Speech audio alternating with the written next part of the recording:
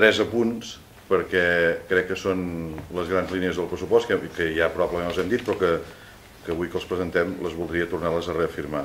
És a dir, mantenim la pressió fiscal, no augmentem la pressió fiscal, aquest és un dels nostres compromisos, mantenim la pressió fiscal que, que han de pagar eh, els olotins per tot el funcionament de l'administració la, municipal, fem una aposta decidida en un moment difícil, fem una aposta decidida per la, per la promoció econòmica i eh, disminuïm el deute. Disminuïm el deute en un moment en què hem incorporat ja el funcionament de, tot, de, totes, les, eh, de totes les construccions, de totes les eh, infraestructures que es varen estar eh, edificant en els últims anys i ara, ara, ja estan totes en marxa per tant eh, suposen una, una despesa corrent. És a dir, mantenim la pressió fiscal, apostem per la promoció econòmica, disminuïm la deuta de l'Ajuntament i això està fet en un, en un moment d'uns pressupostos molt incerts i d'uns pressupostos eh, molt complicats pel moment que ens toca viure.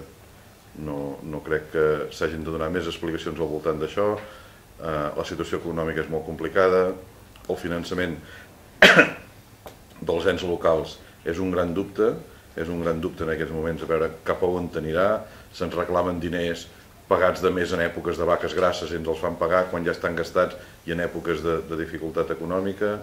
Eh, Se'ns se anuncien polítiques eh, econòmiques diferents perquè eh, es parla de que si hi haurà un canvi de govern a Madrid. Per tant, hi ha moltes incògnites, però nosaltres hem volgut mantenir una, una, un sistema d'actuació que ja era el nostre abans d'estar en el govern de la ciutat, que és en el ple dels pressupostos presentar conjuntament pressupost i ordenances fiscals, perdó, en el ple de les ordenances fiscals presentar conjuntament ordenances fiscals i pressupost. Els detalls del pressupost us el donaran Josep Gelis i després doncs, us faré un comentari en relació al tema mediàtic de la jornada d'ahir pel que hem set, eh, em vaig considerar gairebé una estrella mediàtica amb tots els, dia, tots els mitjans nacionals eh, espanyols eh, demanant-me declaracions i demanant-me explicacions i que jo crec que ben explicat doncs, té, té una lògica i és el que m'agradaria fer amb els mitjans locals i ahir vaig intentar fer amb tots aquests mitjans nacionals.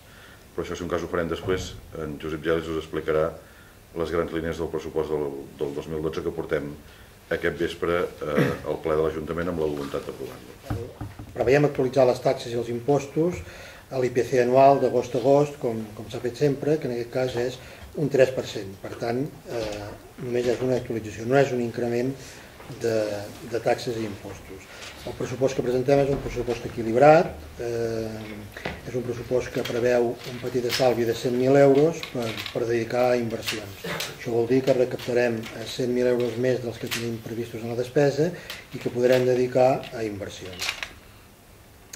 Aquest pressupost s'ha fet amb, amb molt de realisme, molt de prudència en la previsió d'ingressos. Els ingressos estan fets en funció de, la, del que preveiem acabar l'any 2011 amb ingressos. I per tant, eh, pensem que, que, que ho podem complir sense, sense, sense massa dificultat. Eh, també preveiem racionalitzar la despesa i, com dèiem abans, potenciar l'àrea de promoció econòmica, que aquest era un dels nostres compromisos electorals. En quant a inversions, eh, les inversions mm, podrem fer les imprescindibles, ens venen molt condicionades per les decisions de l'anterior equip de govern, eh, però sí que el nostre compromís és posar en funcionament tots els accessos i l'aparcament del nou hospital, atendre tots els compromisos anteriors i garantir els serveis i el manteniment dels edificis municipals. I per últim, en que fa referència al deute, que com sabeu eh, vàrem acabar l'any 2010 amb un deute de 28 milions i escaig d'euros, eh, preveiem acabar aquest any 2011 amb un deute de 26 milions 300.000 euros i per l'any que ve no tenim previst eh, demanar cap crèdit i acabarem l'any 2012 amb un deute del voltant dels 24 milions d'euros.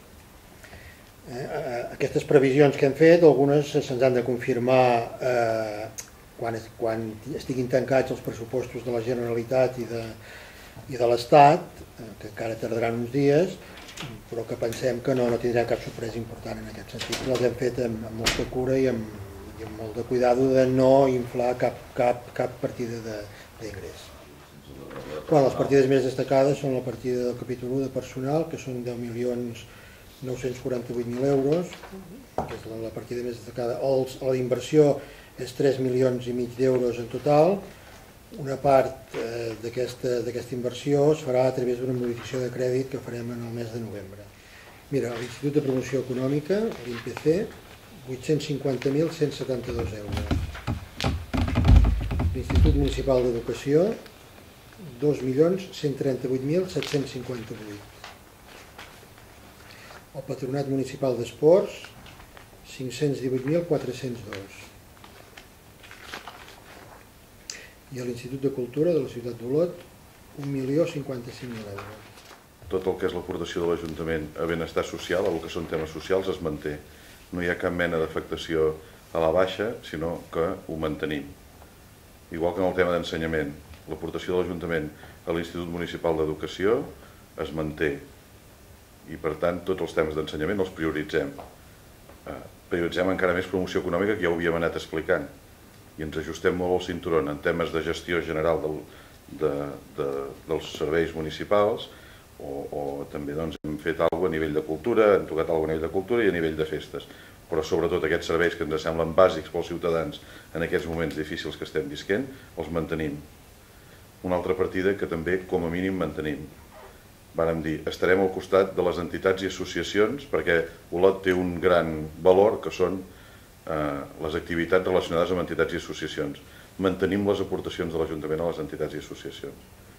I hauria estat fàcil dir, bueno, eh, tothom ho entén ara, nosaltres mantenim les aportacions a entitats i associacions perquè la vida ciutadana és rica gràcies a moltes de les seves activitats i l'Ajuntament ha de saber estar al costat de tots ells. Això eren compromisos electorals que d'alguna manera queden reflectits en aquests pressupostos. I, i, i torno a dir per tercera vegada i no hi tornaré. I són uns pressupostos molt difícils. Ens hauria agradat poder fer inversió, poder fer moltes coses, ens hauria agradat. Però la responsabilitat és la responsabilitat. Eh, mantenim la pressió fiscal, tant de bo haguéssim ser capaços de baixar-la, però per al funcionament normal és impossible. Mantenim la pressió fiscal, mantenim les aportacions, el que són eines bàsiques de la convivència com és benestar social, com és ensenyament, com són entitats i associacions i ens apretem en coses que ens sembla que la ciutat eh, d'alguna manera valora també molt, però que, que si parlem doncs, de tot aquest tema d'estalvi energètic o de, de qüestions internes de l'Ajuntament o en festes on ens sap molt greu, però en festes doncs, també hem hagut de fer, hem hagut de fer un esforç, eh, esperem que els ciutadans ho, ho acabin entenent.